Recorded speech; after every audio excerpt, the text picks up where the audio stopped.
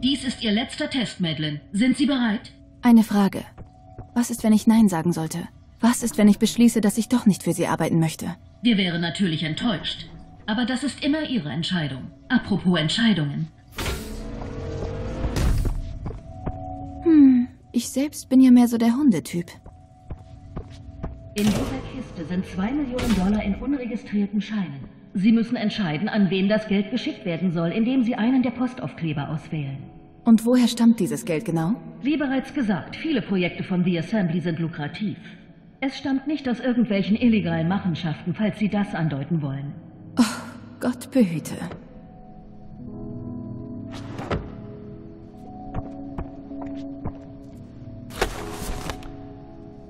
Das muss ein Fehler sein. Das ist meine Wohnung. Kein Fehler.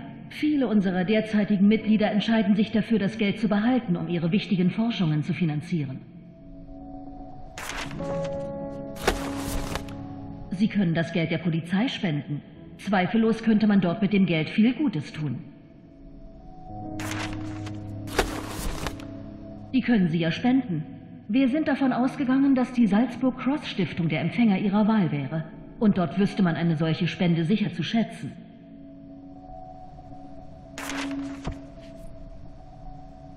Könnte das behalten. Weiß der Himmel, dass ich jede Menge damit anfangen könnte.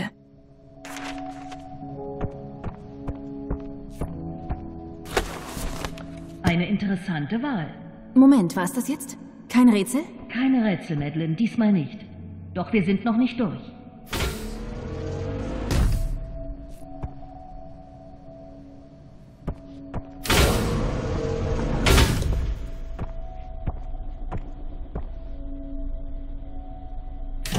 Patienten, die beide auf eine lebensrettende Spenderniere warten.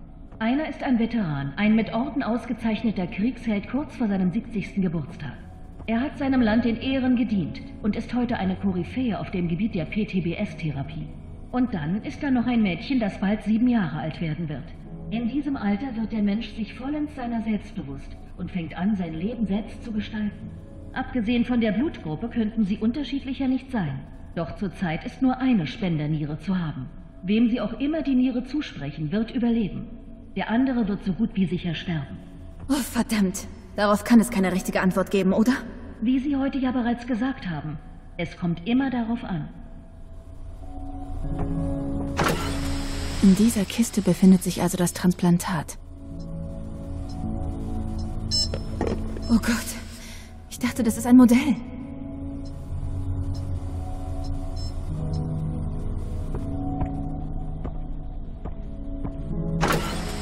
Denken Sie nur an all die Sachen, die er noch erreichen kann, wenn er überlebt. Steht es uns zu, über Dinge zu urteilen, die sie noch gar nicht getan hat? Er hat so vielen geholfen. Wir schulden ihm das. Ihre Wahl wurde protokolliert.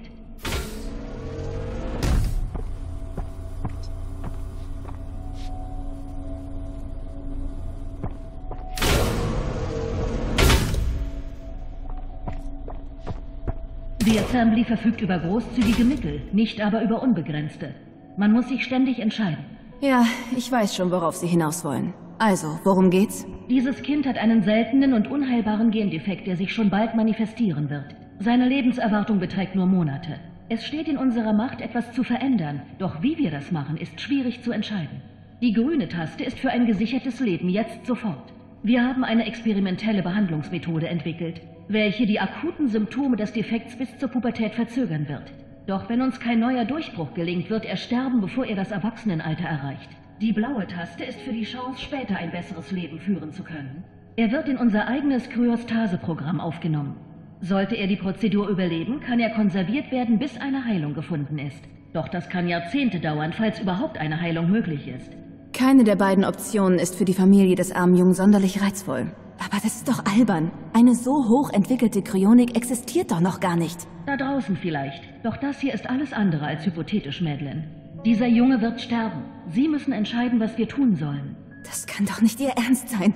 Verdammt nochmal. Die Assembly muss Tag für Tag solche Entscheidungen fällen. Gewöhnen Sie sich daran. Das wird ihn also am Leben halten. Wenn auch nur für etwa 15 Jahre. So hochentwickelte Kryonik klingt nach Science Fiction. Kann das wirklich wahr sein? Die Medizin macht ständig Fortschritte. Mit genug Zeit finden wir eine Behandlung.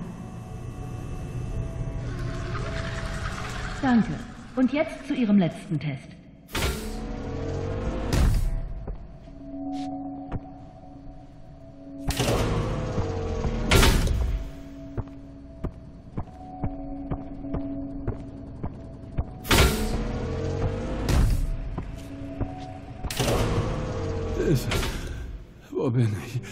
Was, was geht hier vor?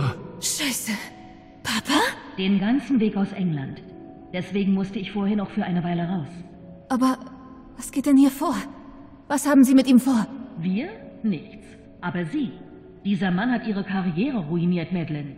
Er hat Sie verraten, auch Ihre Mutter und Ihre Arbeit um Jahre zurückgeworfen. Ihr Mann hat Sie wegen ihm verlassen. Sie mussten wegen ihm fluchtartig das Land verlassen. Und das nur, weil er Ihnen nicht vertraut hat. Er hat nicht an Sie geglaubt. Schon gut, schon gut. Ich hab schon verstanden. Sie sind eine Kämpfernatur, Madeline. Sie sind zu uns gekommen und wir können Ihnen helfen, Ihr Schicksal zu erfüllen. Aber nicht, bevor Sie ihm nicht heimgezahlt haben, was er Ihnen angetan hat. Für all den Schmerz, den er Ihnen zugefügt hat. Drücken Sie den Knopf, Madeline. Drücken Sie ihn. Oh Gott.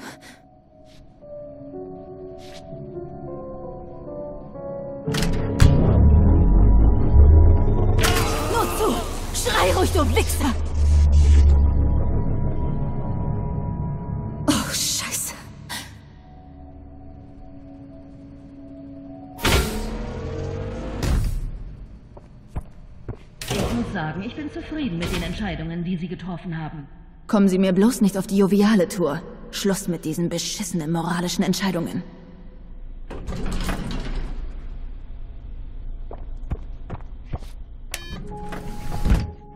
Hallo Madeline, ich bin der Direktor bei The Assembly. Lassen Sie mich Ihnen zunächst einmal versichern, dass das trotz des ganzen Theaters nicht wirklich Ihr Vater war. Schon wieder Ihr Computer. Der ist wirklich bemerkenswert. Adam, wärst du so gut, Dr. Stone eine kleine Demonstration zu geben? Es wäre mir ein Vergnügen, Herr Direktor. Immerhin weiß ich ja, dass Sie meine Fortschritte, oder sollte ich besser sagen Dr. Stones Fortschritte, heute mit großem Interesse verfolgt haben. Schon gut, das reicht. Können wir jetzt einfach weitermachen? Gewiss. Gehen Sie zu meinem Büro und wir gehen Ihre heutige Leistung durch.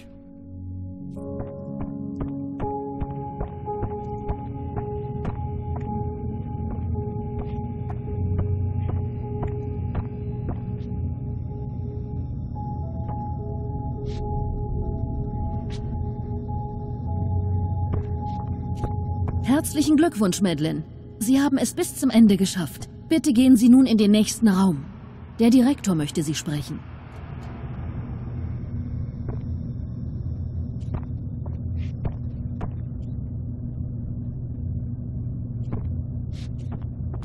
Schön, Sie endlich zu treffen, Dr. Stone. Bitte setzen Sie sich doch. Darf ich Sie Madeline nennen? Denke schon. Ihre Kollegin hat das schon den ganzen Tag getan. Danke. Ich habe Sie mit Interesse beobachtet. Und auch Dr. Cheves, wie ich weiß. Ich denke, sie hatte vor, Sie für Ihre eigene Arbeit einzuspannen. Für ein Projekt namens Pinfeather. Herr Direktor, ich störe Sie nur ungern. Doch ich habe gerade bemerkt, dass Dr. Caleb Pearson versucht, diese Anlage mit gestohlenen Daten zu verlassen. Was? Dann halt ihn auf! Ich habe das Standard-KO-Gas im Aufzug freigesetzt und den Sicherheitsdienst angewiesen, seiner habhaft zu werden. Danke, Adam. Und nun, Madeline, was Ihre Ergebnisse angeht, kommen wir zum Punkt, okay?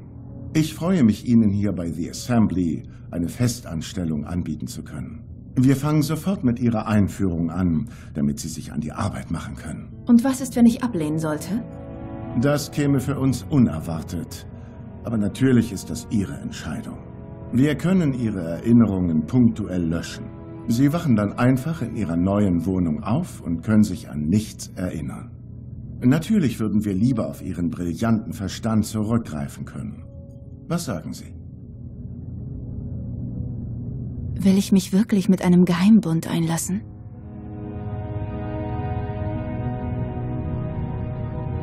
Was ist das denn? Eine Sonnenbrille? Viel mehr als das. Das ist der Prototyp eines Augmentations-Headsets. Wir nennen es Memo. Wie Sie sehen werden, sind darin Ihre kompletten Testergebnisse gespeichert. Finanzierung, Eigenständigkeit, die Chance meines Lebens, aber vor aller Welt verborgen.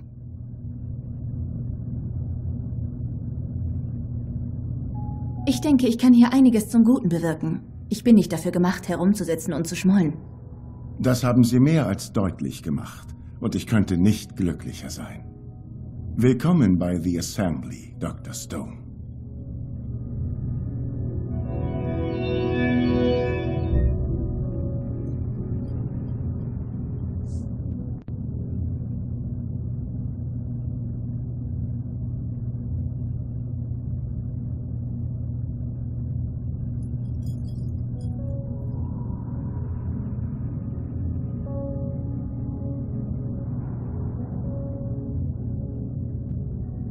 Gut, wann fangen wir an? Ha, wunderbar. Offizier Harris wird Ihnen Ihr Quartier zeigen. Willkommen, Dr. Stone.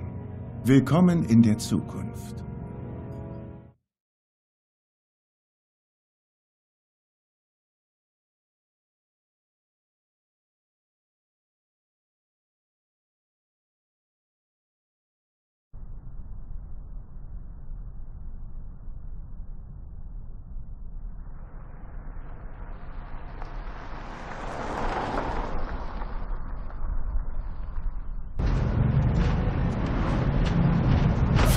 Verdammt, mein Kopf. Hallo? Ist da jemand? Äh, wo bin ich? Was zur Hölle geht hier vor? Hallo? Hilfe! Hilfe! Holt mich hier raus! Ist da jemand? Bitte! Irgendjemand!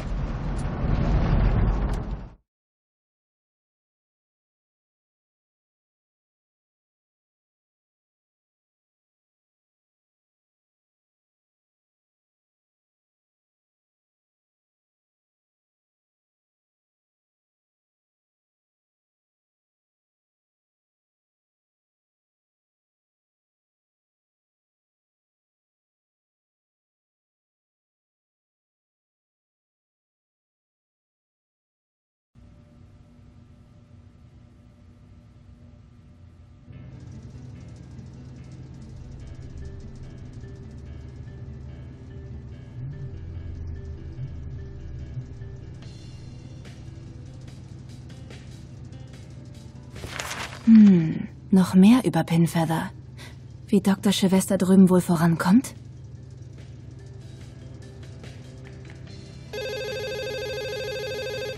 Madeline, ich bin es, Dr. Chavez. Haben Sie das neueste Pinfeather-Dossier bekommen? Ja, habe ich. Die Aussichten scheinen alles andere als rosig zu sein. Aber warum wollten Sie, dass ich mir das ansehe? Weil Sie uns helfen können. Der Virus ist mutiert. Und jetzt hat er es direkt auf das Gehirn der Infizierten abgesehen. Ich brauche hier draußen einen Neurochirurgen und zwar sofort. Gibt es denn niemand anderen? Ich stecke mitten in einer Versuchsreihe zu Salzburg Cross. Tut mir leid, Madeline, aber das hier hat Priorität. Ich habe bereits mit dem Direktor gesprochen. Sie nehmen den ersten Flug morgen früh. Hallo? Hallo? Ach, verdammt. Hier die neuesten Nachrichten von Calico Island, wo ein Ausbruch der Vogelgrippe immer weiter zu eskalieren scheint, obwohl ein ganzes Heer von Ärzten versucht, ihrer Herr zu werden. Manche Experten sagen, sollte der sogenannte Cassius-Stamm von H5N1 das Festland erreichen, könnten wir es binnen Wochen mit einer Epidemie in den USA zu tun haben. Mehr dazu später in dieser Sendung. Doch nun wieder zur UNO, wo heute der Umweltrat über eine weitere Resolution zum Klimawandel debattiert hat.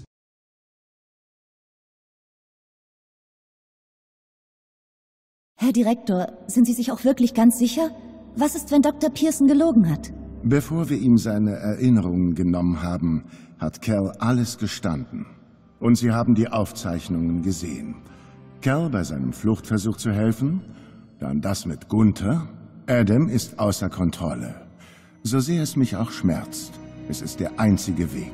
Herr Direktor, ich bin enttäuscht. Ich hatte dafür gesorgt, dass Dr. Pearson die Schuld in die Schuhe geschoben bekommt. Für den Ausbruch auf Calico Island. Nach Ihren Anweisungen. Ich hatte gedacht, Sie sind zufrieden mit meiner Leistung. Wie bedauerlich. Vielleicht hätten wir ihn gar nicht erst bauen sollen. Kommen Sie, gehen wir was trinken. Äh, die Tür ist verriegelt. Herr Direktor, Sie sind zu leichtsinnig. Was Sie getan haben, ist mir keine Wahl, als Projekt Stormguard auf den Weg zu bringen. Was? Jetzt werd doch nicht absurd, Adam. Ich allein kann... Was zum... Smythe, ziehen Sie den Stecker. Hab ich doch schon. Adam, nicht! Was machst du denn da? Aufhören! Du kannst doch nicht...